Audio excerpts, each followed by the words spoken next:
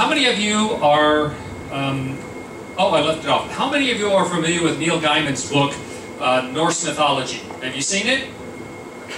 I highly recommend it to you. It is very readable. Neil Gaiman has written a number of popular books. He also has authored, uh, has created and authored some of the most more popular comic books. Um, he he's well known for that amongst the geek community. And, uh, but then he's written a number of popular books as well. Well, he took the Norse myths that we're going to be talking about today, and he wrote a best-selling book tell, retelling those stories in a very readable fashion, and it's called Norse Mythology by Neil Gaiman, G-A-I-M-A-N. I recommend that to you. Uh, if you've if you've not seen it, uh, once we talk about these things today, again, you think, oh, Norse mythology. Uh, I remember Greek mythology and how boring that was, but no, it's really well done, and I, I think you'd be interested in it. Norse mythology and the Norse gods that are the core of Norse mythology, interestingly, while most Westerners know very little about it, they're very much closer to us in many ways, historically, geographically, and even culturally, than the Roman and Greek gods. We've inherited a lot of other things from the Greeks, obviously democracy and philosophy and things of that sort, and because of that, there's a big emphasis on Greco-Roman mythology because the, the Greeks and the Romans uh, basically had the same pantheon of gods, they just used different names for them. But in fact, the Norse gods, again, are much closer to Western to the Western civilization in terms of timing and all sorts of things. Um, and yet, it, so it's a shame we don't know more about them because they really are relevant to us. These are myths that came from Germanic tribes beginning somewhere around probably the 9th century they continue to be handed down and then were written in poetic form between the 11th century and then versions of them continued up to the 18th century. But the most common and considered probably the best versions of them are actually from the 12th century. They were written down by a, an Icelandic historian and writer and politician named, and this is an important name, it really is, you need to, need to learn this, Snorri Sturluson you go to Iceland, they even have a popular beer called Snorri. Snorri Sturluson is the one who wrote down the Poetic Edda and the Prose Edda, which was a, he wrote the versions of the Norse mythology. He also, in the Eddas, they contain stories about King Arthur, which is one of the reasons why King Arthur is on our list of things to talk about when we're in Norway. We'll get into that a little bit later on. But Snorri Sturluson and his versions of the mythologies in the poetic and prose Eddas are critical records of what the ancient beliefs of the Scandinavian people. These, of course, are pre-Christian beliefs. They maintained these well up after the, uh, the rest of Western Europe had become Christianized. During the Viking Age, Britain and uh, Western Europe were already Christian for quite a long time, and they were confronted by the pagan beliefs, which is what we're talking about today, of the Scandinavian peoples. So that's what we're talking about. Let's talk, start with the creation myth. Um, before anything else existed in Norse mythology, there was a great abyss called Ginnungagap. Ginnungagap was this just uh, wide nothingness out of the Ginnungagap, there developed two regions. One was called Muspelheim. It was the land of fire and lava and heat. That was on the south. On the north, there was another uh, region that developed out of, out of the abyss of the Ginnungagap. It was called Niflheim. It was the land of ice and frozen water. Well, eventually, Muspelheim in the south, which was fire, and Niflheim in the north, which was uh, ice, began to creep toward one another across the abyss of Ginnungagap. And when they met one another, the obviously, you know, you get uh, ice and fire together, and you ended up with this massive uh, mist. And out of the mist, there developed the first of the Jotun or frost giants. His name is Ymir the first being, the first frost giant, who is the first being to develop out of the confrontation between fire and ice. Well, um, Ymir was a hermaphroditic being. He could uh, produce other beings without having a mate. And so as he sweated in the midst of all the steam and everything, his sweat turned into other giants, frost giants. So he's producing more of his own race. Um, his two legs interschmingled and created other giants. And so he's producing all of these giants as he goes along. Um, the from uh, the steam also, the next being that came out, other than the frost giants, was a cow named Audumbla. This is Audumbla over here. Audumbla nourished Ymir and the other giants with her milk. And she was nourished by licking the salt licks that were part of the ice that had come from Muspelheim. Well, as she licked the ice, she began to uncover a being named Buri. Buri was a, um, a god, the first of the Aesir, which is the tribe of gods that Odin and Thor and a lot of the others belong to. So she uncovered this being, and that being then married and had a child, and that child was named Bor. Now, who, you know, apparently he married a giant. We don't have a lot of Bestla was the, the person he married. He had a child, Bor, um, and they ended up having half giant, half god beings. And so they began to populate. Amongst the first of the children that Bor and Bestla had were three particularly important ones. Odin, that you've heard of, he was the first of the half god, half giants, and his two brothers, Vili and Ve. I'm going to show this to you in a minute, but uh, I need to give you a little background here. So, You've got Odin and Vili and Ve, and here Ymir is, the first frost giant, and he's producing more and more giants all the time. Well, um, Odin and his two brothers are not happy with the fact that there are more giants than there are gods, Aesir gods, and so they decide they need to do something about this. They figure as long as Ymir is still alive, they're going he's going to keep producing other giants, and the giants are always going to outnumber the gods. So they decide to do something about it. They attack Ymir in his sleep, and the three of them, Odin, Vili, and Ve, and they end up killing Ymir after a horrible battle. And when Ymir is killed, his blood gushes out and drowns almost all of the other giants. And so Odin and Vili and Ve sort of begin to take charge of everything. Most of the other giants are gone at that time. Um, they then take Ymir's body and they tear it apart, and from the pieces of Ymir's body, they build the world that humans will inhabit. They take, for instance, his um, blood makes up the oceans and lakes, the, uh, his skin and muscles form the soil, the rocks and mountains are made from his teeth and bones, vegetation comes from his hair, his brains are made into clouds, and the sky is made from his skull. Well, there, uh, Odin, Vili, and Ve are concerned that the, the sky made from Ymir's skull might collapse if it's not supported. Well, Ymir's body, there were these worms crawling in and out of his rotting corpse as they were using it to build the world. And those worms turned into dwarves.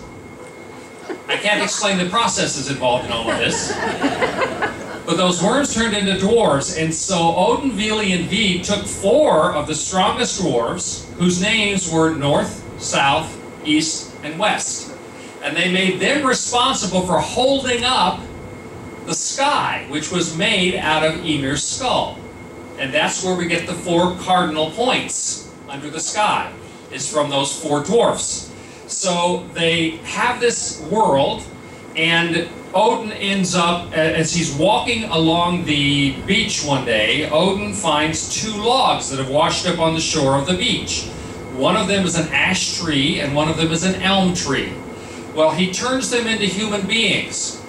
And when he create, he gives them life, and then his brothers Vili and Ve give them intellect and movement and the five senses and various other things. So we have the first two humans created. They are from an ash tree and an elm tree. They are named Ask and Embla.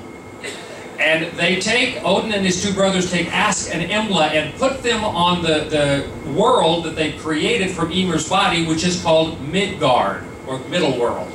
You know Middle Earth from Tolkien? That's basically a translation of the Norse word Midgard, which is where humans lived in the uh, Norse mythology.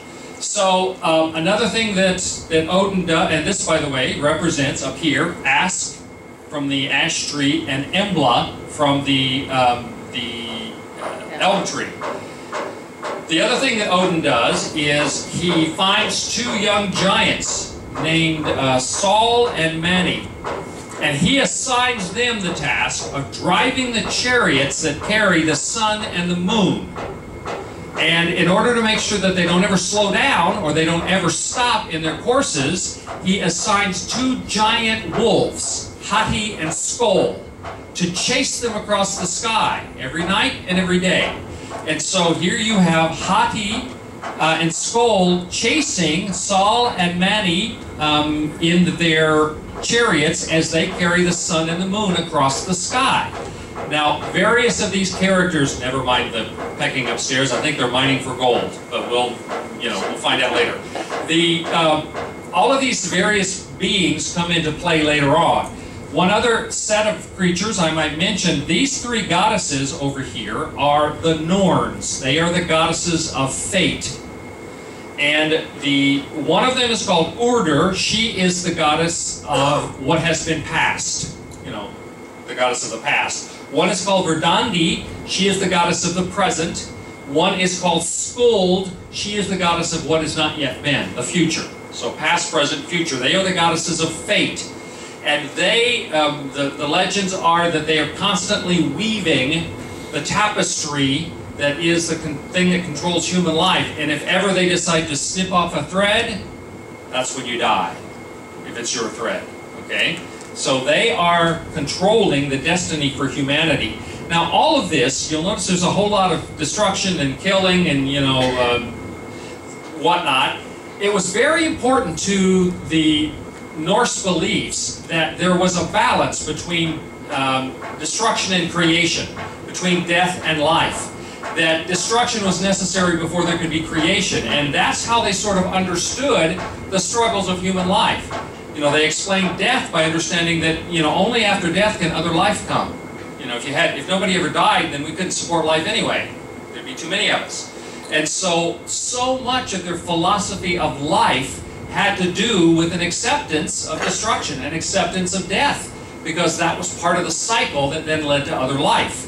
So there really was um, a philosophical underpinning to a lot of the, the ideas that came out of this cosmology or the, the uh, beliefs, the mythology of the Norse peoples. Tying all this together, and our guide at the State Church yesterday mentioned this, um, there is a cosmic ash tree, sort of the tree of life, which is a symbol that's existed in a number of ancient cultures. Uh, in the case of the Norse, this tree is called Yggdrasil. Um, Yggdrasil is the uh, cosmic ash tree, and it is the center of the Norse cosmos. In the various branches of the Yggdrasil are the nine worlds that exist in the Norse cosmology.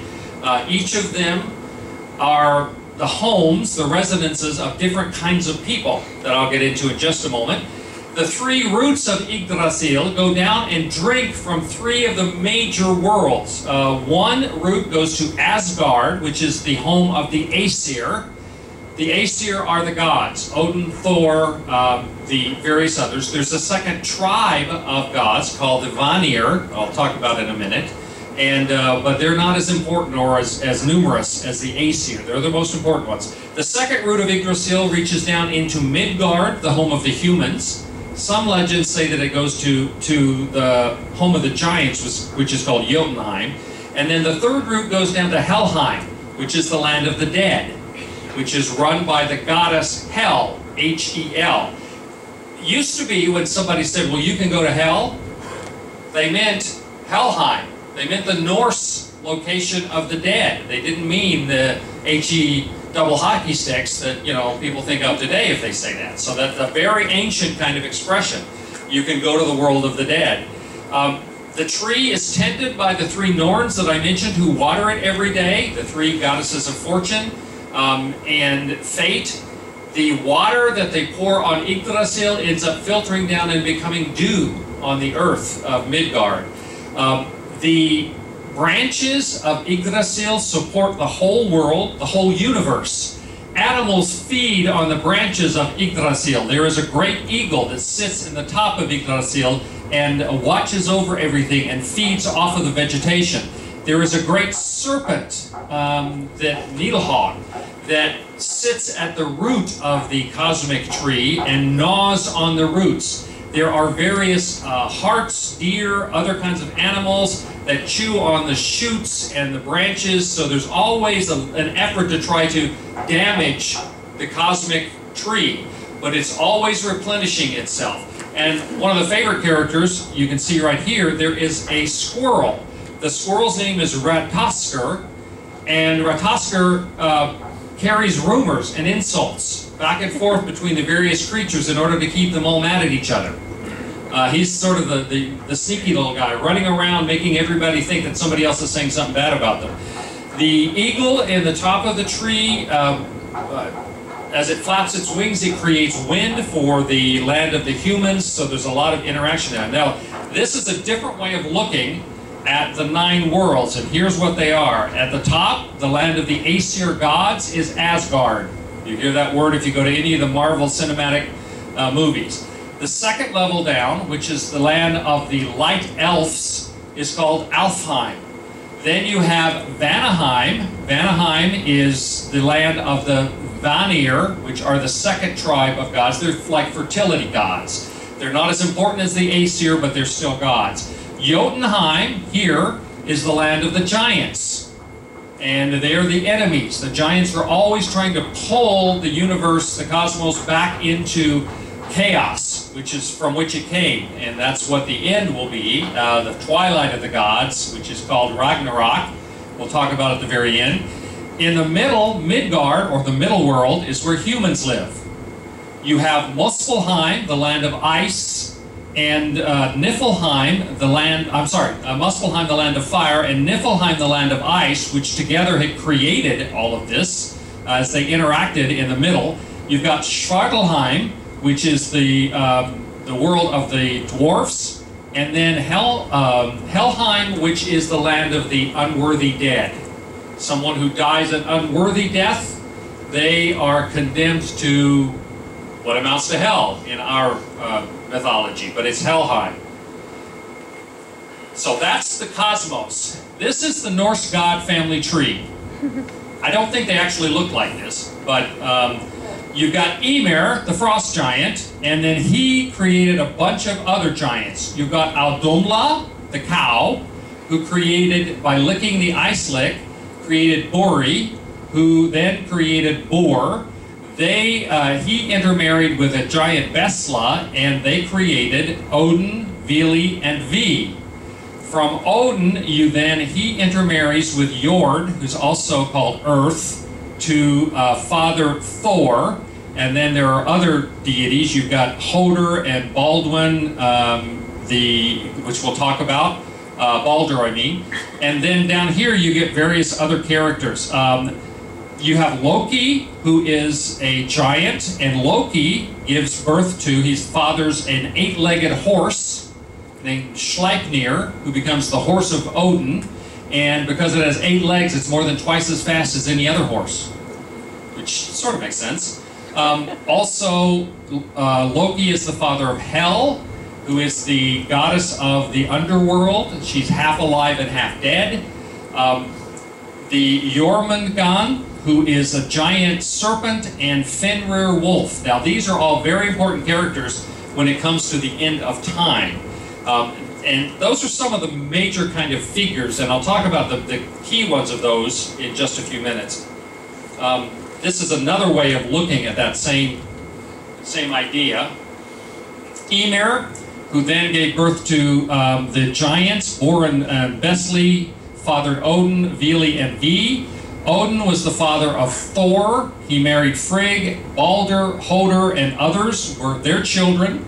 And then you've got Loki, who was a giant, who gave birth to Hel, the half-live, half-dead uh, uh, ruler of the underworld. Fenrir Wolf, Jormungand, the giant Midgard serpent, and Sleipnir, the eight-legged horse. The story about Sleipnir is a very funny one. Uh, the a man, a human, came to the gods one time, the Aesir gods, and said that he could build a wall all the way around Asgard. And it was going to be a humongous wall, and it was going to be all the way around the world of Asgard.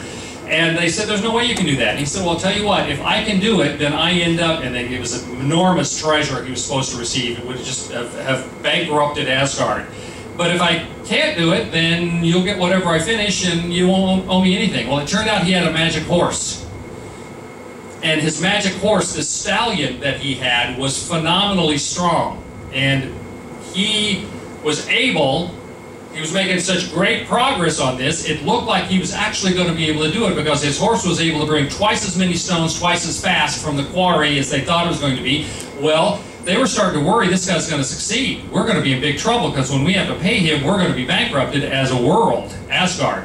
So they, uh, Loki comes up with the idea. Loki is a shapeshifter. He can change his appearance. He decided what he would do is he, he turned himself into a mare who happened to be in heat in order to try to distract the stallion that was making it possible for this guy to build this wall so fast. So, you know, Loki, as this mare in heat, sort of wanders over next to this stallion and then gets his interest and runs away and makes the stallion chase him. And so the guy ends up not being able to finish the wall because his horse has run off, but unfortunately, the stallion apparently was faster than Loki was because he ended up giving birth to a horse. An eight-legged horse, Sleipnir, because the stallion caught him. And that's all I'm going to say about that. But there are wonderful stories like that throughout all of this. Many of the myths and stories and things, I'm just giving you the, the details of the cosmology and the gods and things, but there are wonderful stories involved in all of this. The first of the gods, which you will recognize, astonishingly, Odin looks very much like a popular actor uh, in the United States, well, Britain and the United States. Um, Odin is the king of the Norse gods. He is called the All Father.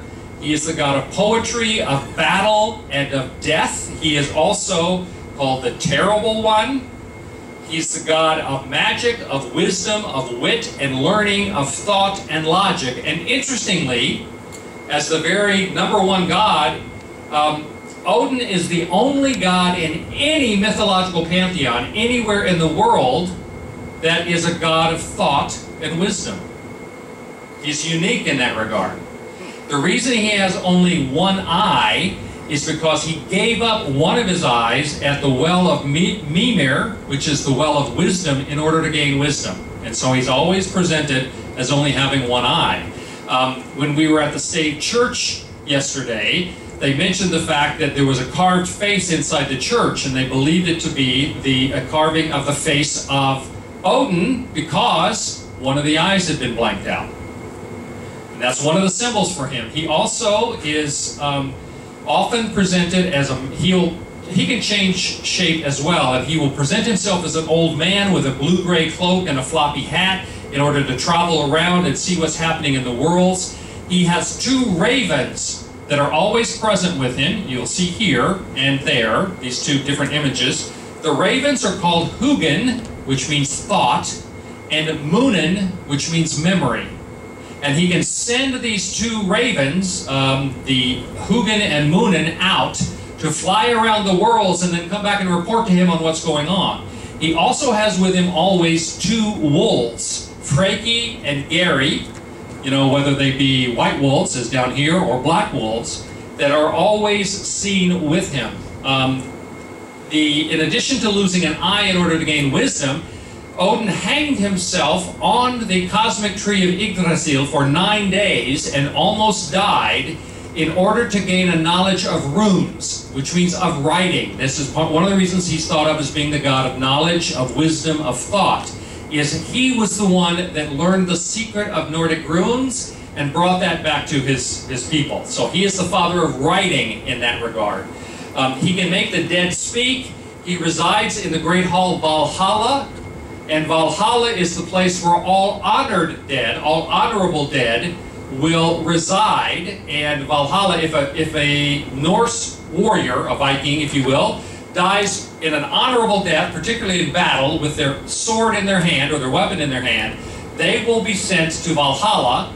every day to be able to drink and feast and fight and other things. And if they get killed fighting against old friends and old enemies, then they will be reborn the next day and start all over again.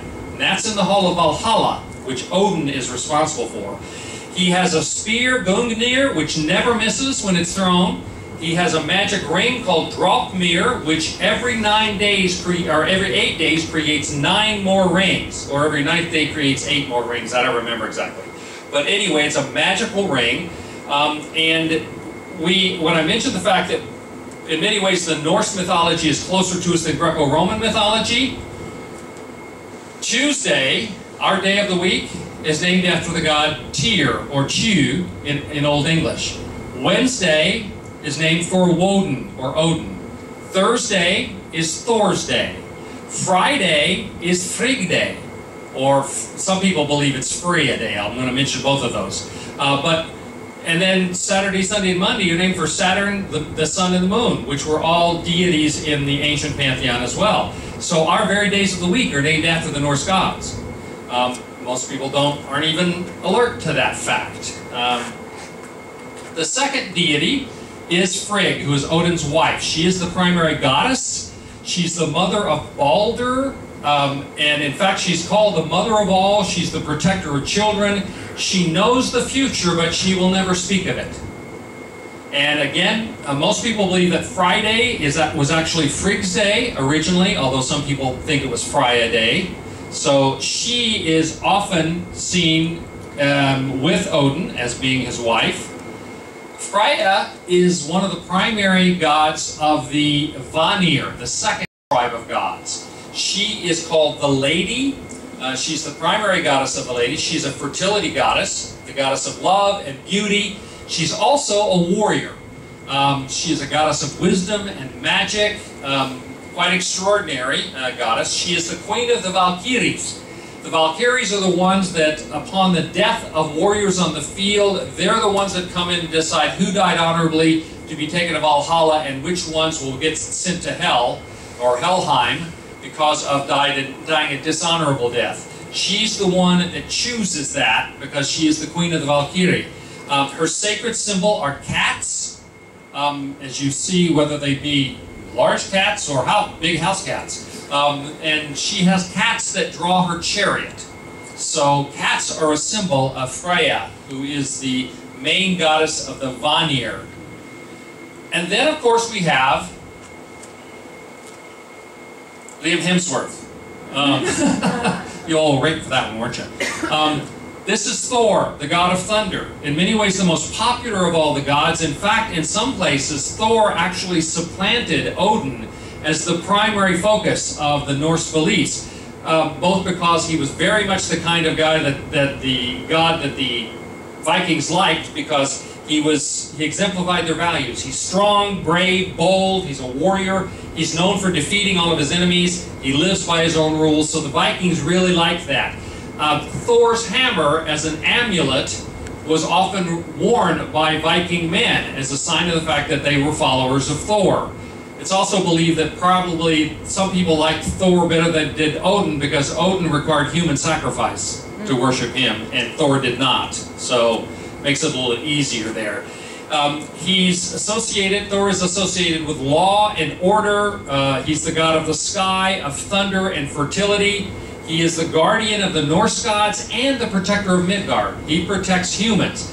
One of the reasons why he was such a popular comic book character is he's the one that had more interaction with Earth, Midgard, and humans than most of the other Norse gods. He's always coming back and forth because he's involved in protecting human beings. He is the thunderer, the thunder god. He has a great hammer called Mjolnir. Mjolnir allows him to call down lightning. Uh, Mjolnir always returns to him when it's thrown. It's a, a, uh, a horrific weapon against his enemies. It always returns to him, and no one can pick up Mjolnir except Thor or someone who is found truly worthy. No one else can lift it. And there were funny scenes in some of the Marvel movies about Thor hanging around with his friends, you know, Iron Man and Captain America and the rest of them trying to pick up his hammer and not being able to do so. Um, in The, in addition to Mjolnir, the hammer, he also has a belt which allows him to double his strength when he straps on this belt. Um, whereas cats are the symbol or the and, and the chariot drawers of uh, Freya, for Thor, he has two goats that draw his chariot across the sky. And when you hear rolling thunder, that's because Thor is riding his chariot across the sky, since he is the god of thunder. His two goats that draw his chariot are called Tangrisni, which means gap-toothed, and um, Tangnost, which means tooth grinder. And these goats have the ability to regenerate. Uh, there are stories about the fact that Thor is traveling and he gets hungry and he stops at a farmhouse and uh, because they're all hungry and there's no food, they take the goats kill them, skin them, cook them, and eat them. But Thor says, make sure you, you pile up the bones right here, leave the bones alone, because the bones, if they're there the next day, they'll wake up and the goats will be back. Well, unfortunately, that night, uh, one of the, the farmer decides he was still a little hungry and he thought, you know, I bet there's good marrow in those goat bones. So he goes and breaks one of the bones and is sucking the marrow out of it. And the next morning, Thor realizes that one of his goats is limping that something's not right. And he finds out that the farmer had broken one of the bones in the night, and so the farmer's son ends up being the servant to Thor in payment for the rest of time. Okay? So his Tangris, uh, Grisni and Tangnost are his two regenerating goats. Uh, Thor's greatest enemy is Jormungand, the Midgard serpent, and in the end of time, at the twilight of the gods, Jormungand and Thor kill one another. Um, We'll get there. This, of course, is Loki. Uh, Tom Hiddleston, who plays Loki, has become one of the most popular figures on the internet. He's got more fan clubs than anybody ever. Um, so, and he does a great character. Loki is the cunning, sly trickster god. He is the son of two giants. Now, in the Marvel comics and the Marvel movies, he ends up being the foster brother of Thor. But in fact, he's not in the mythology. He is the foster brother of Odin. When they did the comics, they decided it'd be more fun to have Thor and Loki always fighting it out rather than Loki and Odin, and so they made that change. But he is a shapeshifter, he is a sky traveler, he's the one that is always challenging the structure and the order of the gods, and is really seen as a critical character because his shenanigans are often the thing that causes the stories. You know, he'll do something, and then in order to trying to resolve it, they have the myths associated with it. Sometimes he's seen as the one who does something that nobody wants, but ends up creating beneficial change. At various times, he puts Freya in peril and then saves her. Yes?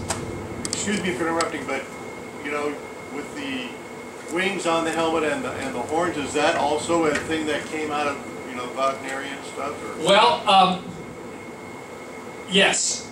You know, they did not have originally, you know, yeah.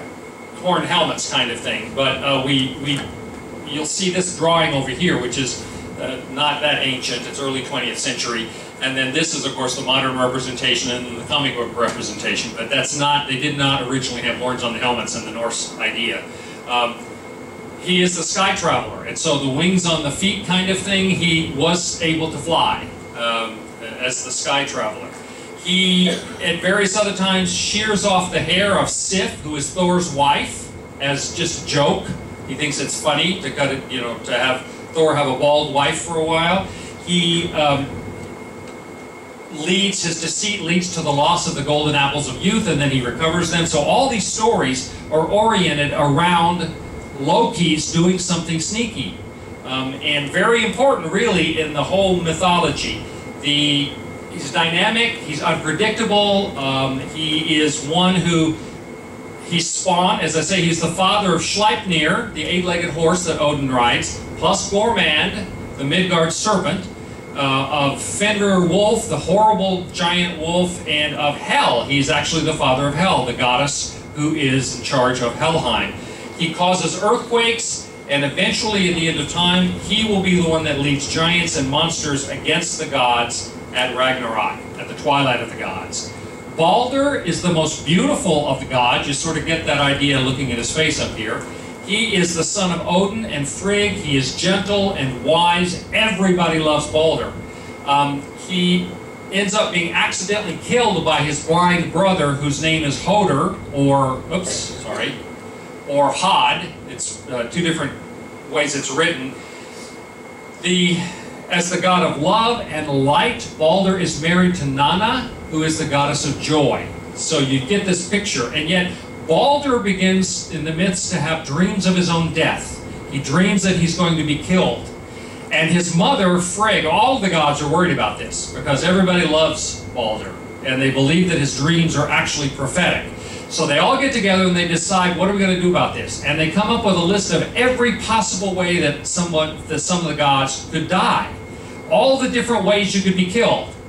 And then Frigg goes out and she talks to every substance and being that exists in all the nine worlds. Every animal, she talks to the trees, uh, all other wood, stone, metal. She gets every substance to agree that they will not harm Balder. The only one that she overlooks, which she thinks is insignificant, is the little mistletoe plant. Well, it turns out they all agree not to harm Balder, and when they go back up, they're trying it out, and they start throwing pebbles at Balder, and they bounce off, and he doesn't feel a thing. So they start throwing bigger rocks and sticks at him, and he doesn't feel a thing. And they think this is great sport, and they're laughing and having a great time. Well, they're having such a good time, Loki gets tired of their laughter. You know, he's a grump anyway, and he doesn't want to listen to it. And so he says, I need to do something about this. He, he turns himself, he's a shapeshifter, he turns himself into an old woman he goes to Frigg in the form of an old woman and says, Oh, I was just over there and they're stoning that beautiful young man and I didn't want to watch. And Frigg says, No, they're not really stoning him. It's all just a joke. They can't hurt him because nothing will hurt him. And so Loki and this guy says, Nothing can hurt him? She said, No, I got all the substances in the whole of the nine worlds to agree not to hurt him. And she says, So nothing at all, not even a pinch of salt. And Frigg confesses, Well, the only thing I didn't get to agree was this little mistletoe plant because I didn't think it was worthy of bothering with. Loki leaves, turns back into himself. He goes and finds the mistletoe plant and gets the biggest stalk he can, sharpens it, turns it into a dart, goes back to Hoder, who is the brother of Balder, and who's just standing over by himself because he can't see. And they, uh, he's saying, "Well, why aren't you participating in the party?" And he says, "Well, I, you know, I, I can't see what they're doing. It says, oh, well, they're really paying honor to your brother Balder by throwing things at him. And he says, do you want to you want to play too? And he goes, yeah, sure, I'd like to show honor to my brother Balder. So Loki gives him this dart of mistletoe, aims him in the right direction and says, throw it. And he ends up killing Balder. And there is huge mourning. Balder is dead you know, Balder, Balder the Beautiful is dead. It's a famous line in some of the myths. Uh, in fact, that's one of the things that apparently inspired C.S. Lewis to become such a fan of Norse mythology kinds of stuff. Uh, is the move, the moving testimony that Balder the Beautiful is dead. So he dies. He is sent to the underworld because he didn't die in battle. They send another son of Odin down to try to get him out and Hel says, Is it really true that everyone, every being is mourning the death of Balder? And um, Hermod, the brother, says, Yes, it's true. She goes, Well, if you can prove to me that every being is mourning the death of Balder, then I will release him and he can come back. Well, they go around. Loki turns himself into an old woman again and refuses to say that she's sad at the death of Balder. And so Balder doesn't get to come back. All of these are the kinds of myths that we deal with. A couple of other characters. Heimdall is the watchman of the Norse gods. He's the owner of a horn called Kjol. Kjol, when sounded, can be heard in all the nine worlds. He, his home is right next to the Bifrost. The Bifrost is a rainbow bridge that connects Asgard to the other worlds. And he protects it so that no one can cross without him knowing it's said that Heimdall can see everything that is and can hear every sound, even the growing of the grass or the growing of a sheep's wool. And so he's always on guard to make sure that Asgard is protected. Well, um, he is associated with the sea. He's the, uh, said to be the son of nine maidens. Not sure how that works. But they, some people say it may have been nine waves that birthed him. He uh, eventually, he is the one who is aware of the fact that the giants are attacking and sounds the horn at the end of time, uh, at the Ragnarok. This is Hel, the ruler of the realm of the dead, and you will see that she is half alive and half dead. In some of the mythology, they say that she's alive from the waist up and dead from the waist down. Uh, but she's often presented like this. Um, the she is, again, a child of Loki, as is Jormungandr and Fenrir the Wolf. She is the one that rules over death, uh, maintains her kingdom over the dead, and she is considered very vengeful to anyone who transgresses natural law. Interestingly, the Vikings, the Scandinavians, really feared her. But the Germans and the Dutch and some of the other ancient Germanic peoples who also had her as a deity saw her as sort of the transforming death. That it was, she, she actually had kind of a positive light, that she gave meaning to some of those things. And finally, the uh, Ragnarok, which is the twilight of the gods. It is the end of time. At the toward the end, now Jormungand, who is the great serpent, is enchained. Fenrir is enchained. In fact, Tyr, the son of Odin, lost a hand trying to finally uh, shackle the great wolf Fenrir. And so Fenrir is shackled. Loki, after killing Balder, they lock him up when they find out he's done that. So all of them are in chains. Finally, Loki breaks free. He arranges to free uh, Jormungand, the great Midgard serpent. He frees Fenrir, and they lead both the giants and all of the residents of Hell, um, Helheim, back in an attack on Asgard. And when they attack, well, first there are um, Midgard, the Earth, goes through, and this may actually be happening now, goes through a horrible winter. And then two more winters after that, with no summers in between. And so after three years of horrible cold, we end up with um, the two wolves that chase the sky and the sun, uh, the, the sun and the moon across the sky. The wolf Skoll seizes the sun and swallows her, and the splatter of um, gore goes as far as Asgard. Um, his brother Hati catches the moon and mangles it. The stars vanish from the sky, and eventually the earth starts to shudder the limbs of Yggdrasil, the great tree of life, start to shake. Fenrir breaks loose. Jormungand breaks loose. There are two humans who hide in the branches of Yggdrasil. And all the sea rears up and everything starts going wrong. The giants and the unworthy dead following Loki attack Asgard. As you can see in these images, Odin does battle against the great wolf Fenrir and is eaten by Fenrir. Odin dies in the jaws of Fenrir. Uh, Thor does battle against the his arch enemy, who is the giant Midgard serpent Jormungand, and he kills Jormungand, but only after being poisoned by him. And it's said that after killing the serpent, Thor takes nine steps back and drops dead. So um, Heimdall is also killed. And all of these major deities are killed. And it looks as though all things will end. Well, in almost every case, it was the god and then the, you know, the giant or demon that they're fighting end up killing each other. At the end of all of this, um, the Yggdrasil is still alive. The two humans that have hidden inside the tree come back out again. Um, and they end up being the two humans that restart the human race. Balder and his brother Hoder come back from hell. They, they can reestablish the race of the gods. The two humans reestablish the race of the humans. The planets, uh, the nine worlds, begin to reestablish themselves, and everything starts again. This again is very much part of the kind of cosmology and, and, and mythology is that out of the destruction comes new life and new birth. The two humans are called Lif and uh, Lifthrasir. Lif and Lifthrasir begin to have children. Their children bear children, and life begins again. Not only on Midgard, Earth, but also amongst the gods that survived or were able to return after all of that. And it all begins again.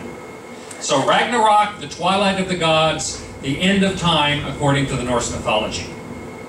You now have an introduction in 45 minutes to all of Norse mythology. I do strongly recommend, a much better job of it than I, I can do, is Neil Gaiman's book, Norse Mythology. Questions about any of this?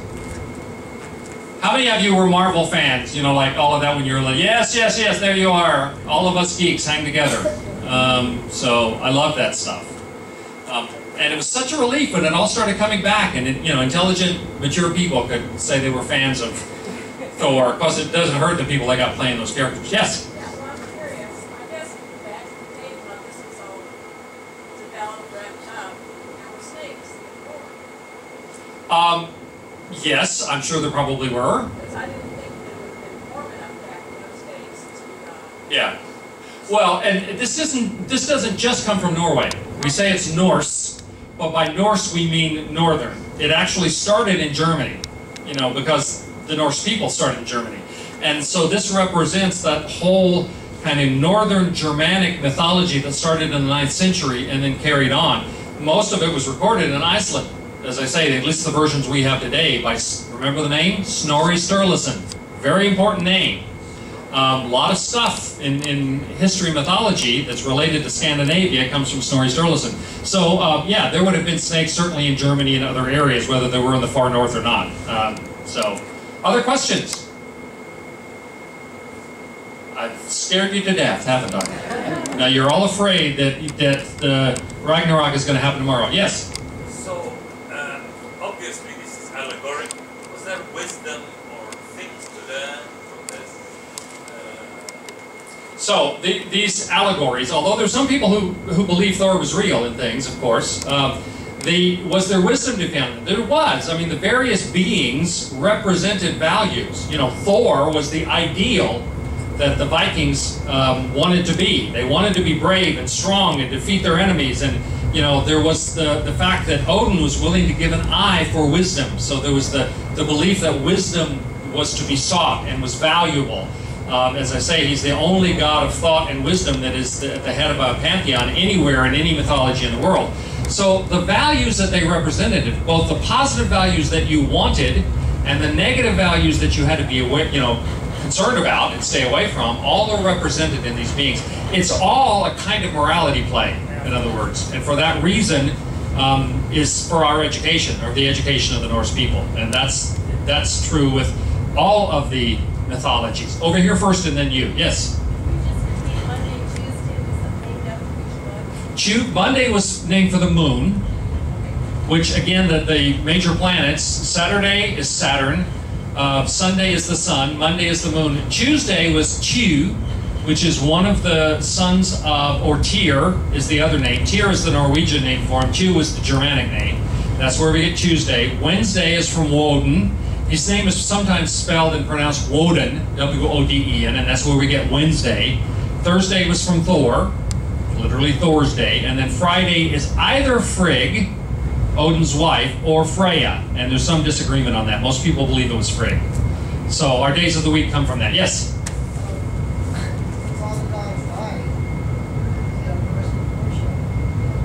Well, the, uh, most of the gods die, not all of them. Again, Balder and Hoder come back from Helheim.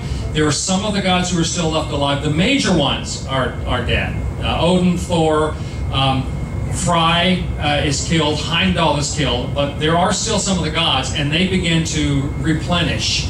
Um, the idea is that even though the gods have died, they sort of live forever. And um, in, in that was true with many of the Greek and Roman gods that had perhaps had been died, but they had died, but they saw them as being representative of eternal truths. And so the Vikings would pray to Thor. Uh, They would pray to the goddess of the sea in order to have safe travel. And so um, life and death didn't have the sort of, oh, well, we can't worship that anymore, but you know, that god anymore because he's dead now. Because as far as they were concerned, he's always going to be alive. Uh, even though, according to Ragnarok, Thor and Odin and Heimdall uh, all died. Okay? Um, I can't ex- I, I can't make sense of it beyond that. You know, just like I can't understand how an eight-legged horse was born from uh, Loki the giant. You know, it's um, it's kind of strange. It's like in, in Indian mythology. You know, one of the one of the most popular gods of all, um, Ganesha, is a god with an elephant head who rides on a mouse. Just take it for what it is. That's about all you can say.